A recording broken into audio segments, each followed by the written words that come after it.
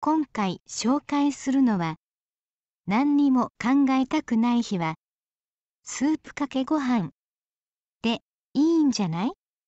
という本です。1一皿で完結だから献立を考えなくていい。2なのにお腹も大満足具材のうまみが染みたご飯は超美味しい。3しかもうどんやパスタに変えるだけで使い勝手は無限大。炒めて煮立ててかけるだけ。料理レシピ本大賞。2020入選作家のおうちごはん市場最高の発明。どのスープもとっても美味しそう。スープの写真がどれも美味しそうなので片っ端から作ってみたくなりました。だしの酢やコンソメに頼らず素材そのものの出汁を生かしたスープで健康に良さそうです。材料もスーパーで手に入るものばかりで食材が余らず使い切れるのも魅力的です。早速作ってみようと思います。以上。